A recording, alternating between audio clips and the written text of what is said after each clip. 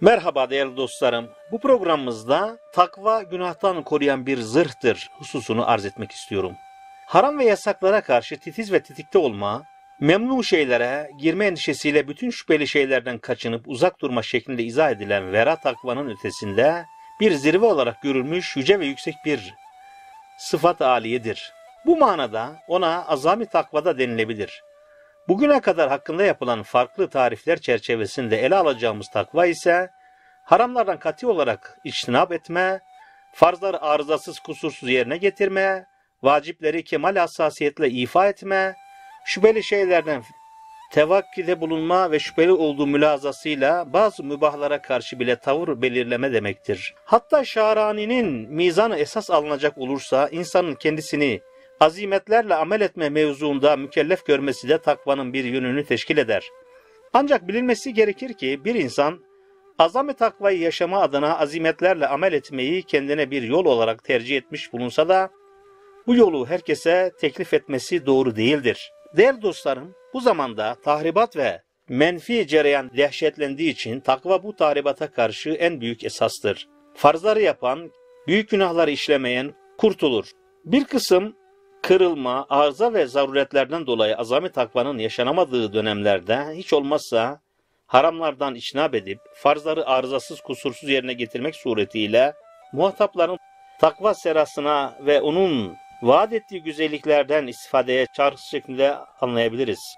Fakat bu noktada şu hususun gözden kaçırılmaması gerekir. İman ve Kur'an dairesi içine henüz adımını atmış müptedileri kaçırmamak ve meseleleri takdimde uslup hatasına düşmemek için daha objektif bir çerçeveyle insanların önüne kalp ve ruhun dereceyi hayatına yükselip azami takvaya ulaşması adına bir ufuk ve hedef konulmuştur. Takvanın diğer bir yönünü ise tekvini emirlere riayet teşkil eder. Günümüzde bizim ilim ve teknoloji gibi bazı sahalarda geri kalmamız, değişik zulüm ve baskılar altında ezilmemiz ve bunun neticesinde de kendi din ve diyanetimizden şüphe eder hale düşmemizin altında yatan en önemli sebeplerden biri de ayat tekviniyi doğru okuyup doğru yorumlayamayışımızdır. Demek ki kainat kitabını doğru okuyup doğru yorumlamada takvanın önemli diye bir buğdunu oluşturmaktadır.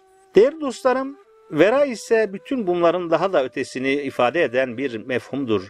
Vera bir yönüyle şüpheli şeylerden kaçınmak, diğer yandan da Peygamber Efendimizin aleyhissalatü vesselam töhmet yerlerinden sakının Hadis-i şerifi gereğince bazı meşru tavır ve davranışları bile bir kısım yanlış yorumlamalara ve sebebiyet verebilir mülahazasıyla terk etmektir. Buna göre vera sahibi bir mümin, laubalilik ve gayri ciddiliklerin numayan olduğu bir yerde bulunmaktan sakınmalıdır.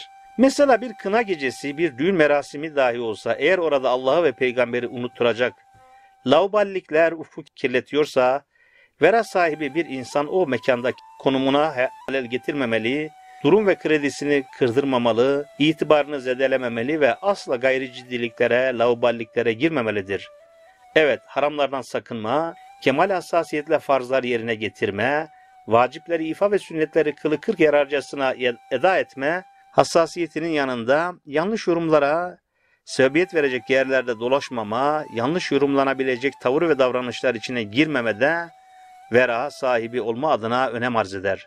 Bu durumu bir misalle biraz daha açmaya çalışalım. Diyelim ki siz içinde bir kısım haramların işlendiği bazı mekanların bulunduğu bir caddeden geçiyorsunuz. Eğer siz halkın teveccüh ettiği, rehber olarak gördüğü, önlerinde numune imtisal kabul ettiği birisi iseniz, lehviyat mekanlarının bulunduğu böyle bir caddeden geçerken, acaba oraya mı girdi, orada o atmosferi paylaştığı dost ve arkadaşları mı var türünden, değişik mülahazalara sebebiyet verecek, değişik anlayışlara sebebiyet verecek ve sizde itibar ve kredi kırılmasına yol açacak her türlü tavır ve davranıştan uzak durmanız gerekir. İnsanlar kainatı kanaati vicdaniyeleriyle vacip farz veya farzlar üstü farz bir vazifeyi eda ederken gayri ihtiyari iradeye iktiran etmeden bu türlü imtihan sayılabilecek bazı şeylerin içine düşmüş olabilirler. Bu ayrıca değerlendirilmesi gereken bir husustur. Ancak böyle bir maksat olmadan canının istediği şekilde keyfiliğe bağlı bir halde kalkıp şurada burada gezme, internet sitelerinde gezinme, hava almak için gidip değişik yerlerde dolaşma benzeri ve benzeri tavır ve davranışlar içine girme, evet bunların hiçbirini kitap ve sünnete göre tecviz etmemiz mümkün değildir. Rabbim hakiki manada takvayı yaşayan, Kur'an ve sünnetin emirlerini yerine getiren, haramları terk eden, helal dairede yaşayan müminlerden olmamızı bütün dinleyicilerimize, sevdiklerimize, dostlarımıza nasip eylesin. Allah'a emanet olun, hoşça kalın değerli dostlarım.